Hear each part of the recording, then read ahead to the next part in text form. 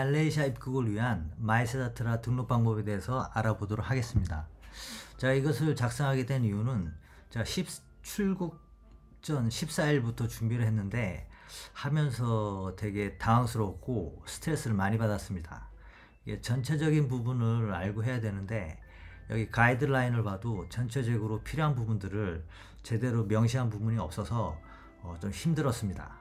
그래서 저처럼 이러한 분들이 있을 것 같아서 저희 영상이 도움이 되지 않을까 싶어서 준비를 했고요. 이거 제가 태어나서 처음 해봅니다. 녹음이라든지 이거 세팅 방법 하는데 한 반나절 걸렸습니다. 즉 매끄럽지 못한 부분이 있어도 어, 양해 부탁드리겠습니다. 그래서 먼저 시작을 해보면 마일세자트라 앱을 받으시면 처음에 이렇게 뜹니다. 이게 어, 첫 부분이 뜨는데 마일세자트라 등록 방법은 크게 다섯 가지로 나눌 수 있습니다. 먼저 가입 신청이 있고요. 이건 가입을 그냥 신청하는 겁니다. 이 신청이 받아져야 되고요. 이거를 제가 14일 전에 했는데 이 신청이 받아지는데 4일 걸렸습니다. 그러면 이제 등록을 해야 되는데 등록을 통해서 이제 여행자 카드를 앱으로부터 받아야 됩니다. 어, 10일, 그 10일쯤에 받았는데 이 여행자 카드 작성은 입국 전 7일 전에 할 수 있습니다. 그 이유에 대해서는 밑에서 설명드리고요. 이걸 몰라서 또 제가 되게 당황스러웠습니다. 그리고 그 다음에 이제 코로나 백신 업로드, 여행자 보험 업로드, 그리고 출발 이틀 전에 그 코로나 음성 확인서를 업로드 하시면 말 입국 전에 필요한 MySejahtera 등록 방법은 다 등록이 된 겁니다. 그러면 이제 처음에 가입 신청 부분부터 알아보도록 하겠습니다. 그럼 여기 보시면 이제 그 install을 하면 이게 첫 부분인데요. 여기다 내 핸드폰 번호를 넣으시고 그리고 패스워드를 정하신 다음에 어, register를 누르시면 내 핸드폰으로부터 인증번호가 옵니다. 그 인증번호를 OPT, OTP가 여기다 넣으시면 그리고 제출을 하시면 다음 부분이 이제 그 이제 하다 보면 여러 번 왔다 갔다 하게 되거든요. 그래서 아이디랑 패스워드를 정하셔야 되는데 아이디는 방금 자기가 등록한 핸드폰 번호나 이메일 주소로 사용하게 되, 되어 있습니다. 그래서 여러 번 왔다 갔다 하기 때문에 보시면 최소 숫자가 6 숫자거든요. 그래서 저는 1번부터 6번까지 했습니다. 아주 간단하게 하시는 것을 추천드립니다. 이걸 이제 하시고 컨펌 확인을 누르시면 앱으로부터 그 가입 신청이 됐다라는 이 메시지가 앱에서 뜹니다. 그리고 이 내 가입 신청이 제대로 받아져서 등록을 할 수 있는 조건이 된다는 것은 이메일로 알려주는데 SMS나 SMS는 안 오고 저는 이메일이 왔는데 아까 말씀드린 대로 입국 전 14일 날 해서 어, 입국 전 10일 날 약 4일 후에 왔습니다. 저도 이걸 몰라가지고 한 4일 동안 또 마음고생을 많이 했습니다. 저는 이걸 보내면 그 우리나라처럼 금방 도착할 줄 알았는데 그게 아니었습니다. 그래서 이 부분을 미리 좀 알아두시길 바라고 어 저는 이 가입 신청은 한 2주 입국 2주 전에 하시는 것을 추천드립니다. 그럼 이제 그 등록 방법에 대해서 알아보도록 하겠습니다.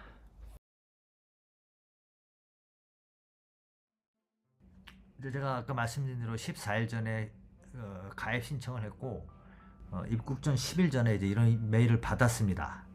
이 메일을 받고 제가 그 제 패스워드랑 아이디로 해서 들어가려고 하면 이런 오류가 자주 떴었어요. 그래서 받은 메일에서 요걸 타고 어, 핸드 자기 핸드폰이 그 가입 신청을 한 그 앱이 깔려 있는 폼이 안드로이드면 안드로이드로 하시고 애플폰이면 애플폰으로 하시고 해서 타고 들어가셔서 어, 거기서 설문지에 있는 질문을 다 답변을 하면 이런 트래블러 카드를 앱으로부터 어, 발급합니다.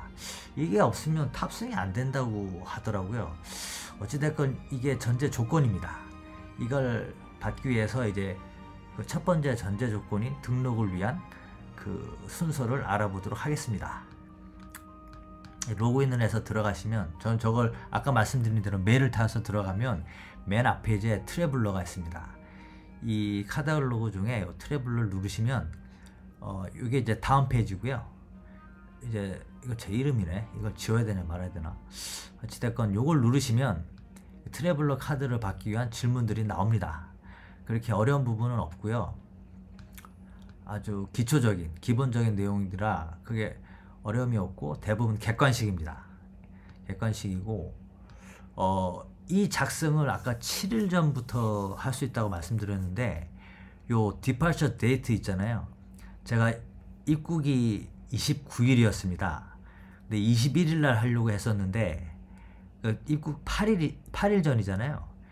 이, 이 출발 날짜가 최대 28일밖에 안 나왔습니다. 그래서 입국 일이 7일 전인 다음 날 그때서야 이제 29일이 떴습니다. 범위가. 그래서 뭐 아, 앱이 어떻게 업그레이드 될지 모르겠지만 7일 전에 이거를 작성하셔야 제대로 작성이 가능합니다. 이 부분 좀 주의하시길 바라고요. 그 다음부터는 뭐 크게 힘든 부분은 없습니다. 그리고 요 17번 이제 지인이랑 연락처인데 저는 말레이시아 친구가 있어 그 친구로 했고 말레이시아 친구가 없으신 분들은 그 예약하는 호텔에 뭐 지배인에 대한 연락처를 넣는다든지 그렇게 하시면 될 것 같습니다. 제가 보기에는 이거 이 부분은 크게 상관은 안 하는 것 같아요. 근데 찝찝하니까 어 뭐 호텔 쪽에 그 영업사원의 이름이라 해서 넣어도 크게 뭐 무방할 것 같다라고 저는 봅니다. 제일 좋은 건 이제 지인의 이름이랑 연락처를 넣기를 바랍니다. 19번 이제 코로나 백신에 대한 어, 설문지거든요. 이거는 이제 자기가 그 쿠브 있지 않습니까? 백신 접종. 얀센 여기 이제 몇 번 했냐고 이제 뜨는데 객관적으로 얀센 하신 분은 뭐 1차 한 번, 그리고 두 번 맞으신 분은 두 번. 저는 부스터 샷이라서 세 번이나 했고요. 어, 말레이시아는 2차 접종, 얀센은 1차 접종까지를 완료를 보고 있습니다. 어, 떤 나라 싱가포르는 3차 접종을 완성으로 보고 있는 걸로 알고 있는데 어찌됐건 그 쿠브 기록에 있는 걸 근거로 해서 그, 기, 그 선택을 하시면 되고요. 저는 이제 화이자를 맞았기 때문에 화이자 쪽에다가 체크를 했고요. 어, 이걸 이걸 다 체크하신 다음에 그 submit 제출을 하시면 크게 문제가 없으면 이런 traveler 카드를 받습니다. 이 traveler 카드를 받은 다음에 하셔야 될 게 이제 그 백신 접종 그 기록 증명서를 업그레이드 하는 부분입니다. 이제 이 부분에 대해서 알아보도록 하겠습니다. 접종 증명서 업로드에 대해서 알아보도록 하겠습니다. 앱의 맨 앞 페이지를 가시면 help desk가 있습니다. help desk를 누르면 이, 런 화면이 나오는데 질문사항인데요. 밑으로 쭉 내려가다 보시면 어, L 부분이 있습니다. 이 L 부분을 누르시면 이제 그 프로세스가 시작되는데요. 스타트를 누르시고 어, 저의 제가 등록했던 방법 위주로 설명드리겠습니다.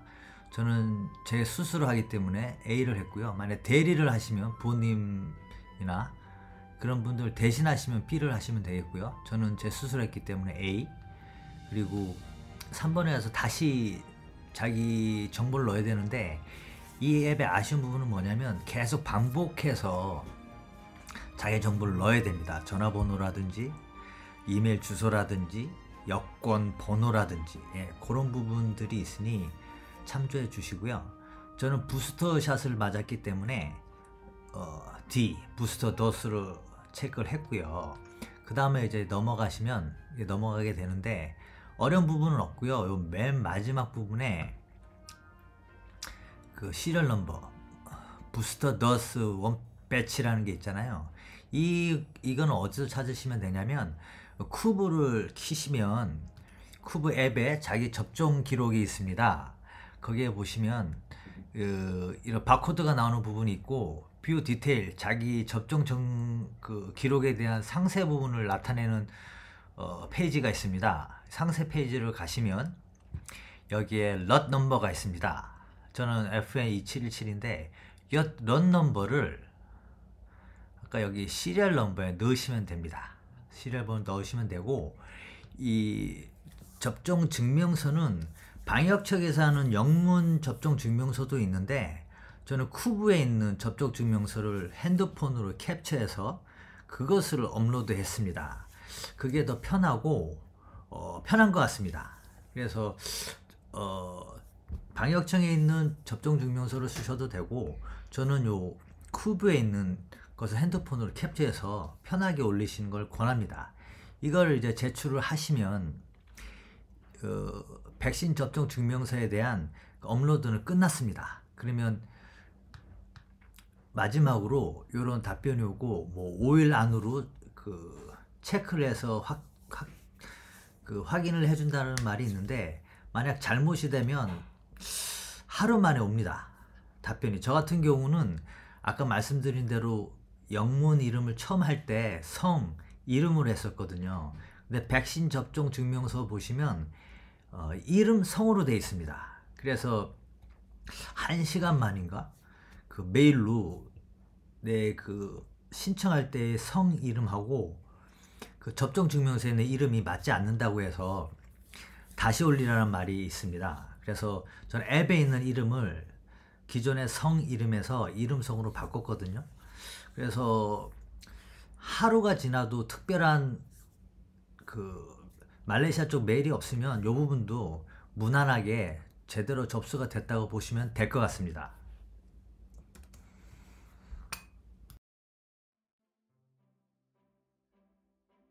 보험 증명서 업로드하는 법을 알아보겠습니다. 이제 여기 다시 traveler 누르시면 이제 요 첫 부분은 다 됐고요. MySafe traveler를 누르시면 어, 다섯 번째 부분이 있습니다. Purchase COVID-19 Travel Insurance인데 이걸 누르시면 이제 요 정보가 나옵니다. 이거는 이제 입국하는 입국하는 곳인데 말레이시아 항공은 터미널 1이고요. 키알란가 1이고 에어아시아는 터미널 2로 알고 있습니다. 저는 말레이시아 항공을 타고 가기 때문에 터미널 1로 선택을 했었고요. 혼자기 때문에 이제 1로 했고 이거는 저절로 나와 있네요. 그리고 뭐 싱가포르에 관련된 건데 no 했고 그리고 traveler type은 others를 했습니다. 그리고 아까 말씀드려도 같은 정보들 넣고요. 어, 여기 보시면 마이 세자트라 아이디가 있는데 이것은 그 트래블러 카드에 보시면 어딨냐? 어, 여기 있습니다.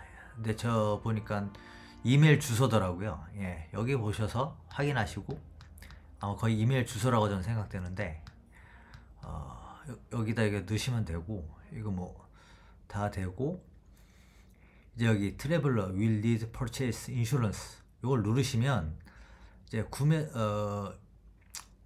어즉그이 나라 걸 살 수도 있고요. 저는 이제 이미 구입을 했기 때문에 요 I already have 요 부분을 체크했고요.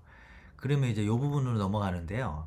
이게 증명 그 보험 증서 번호 그리고 그 회사명을 적어야 되는데 이게 제 보험 증서거든요.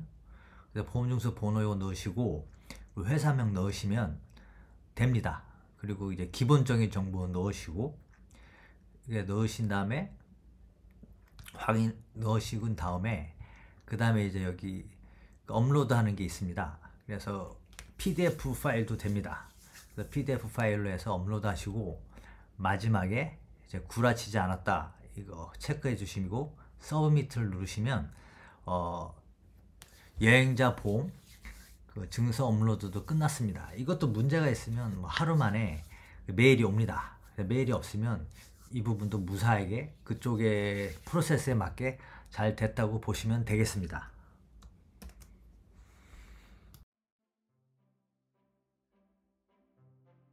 코로나 음성 확인서 제출 부분인데요. 확인서 제출은 그 traveler 카드 보시 맨 밑부분에 보시면 pre departure test에서 pending submitting now 즉 어, 이 부분은 저 같은 경우는 29일 날 출국이기 때문에 27일 날 이틀 전에 검사를 받고 28일 날 업로드를 할 예정입니다. 그래서 주의하실 부분이 뭐냐면 어, 각 나라마다 코로나 음성 확인서에 대한 기준이 있습니다. 네, 우리나라 기준을 보면 이제 일반적으로 보면 영문이어야 되고 한글이거나 그리고 발급처, 발급날, 발급받은 사람 뭐 그런 기본적인 것들이 꼭 들어있어야 됩니다. 그 기준에 벗어나면 우리나라 같은 경우는 5일 격리를 해야 됩니다. 근데 말레이시아 같은 경우는 어, 주의할 부분이 뭐냐면 그 발급서 내용에 목과 코 두 부분을 검사했다라는 내용이 있어야 됩니다. 코만 해도 안 되고 목만 해도 안 됩니다.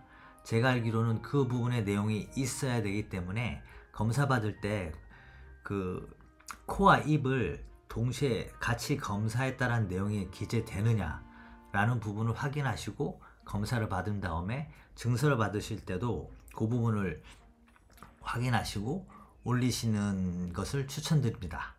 그러면 이로써 마이 세자트라 등록 방법에 대해서 설명을 드렸고요. 좀 미흡하고 되게 거친 부분이 있는데 어찌됐건 어, 조금이라도 도움이 되는 사람이 있었으면 하는 마음에서 어, 준비를 해봤습니다. 예, 즐거운 말레이시아 여행이 되는데 조금이라도 도움이 됐으면 합니다. 아, 항상 건강하시길 바랍니다. 안녕.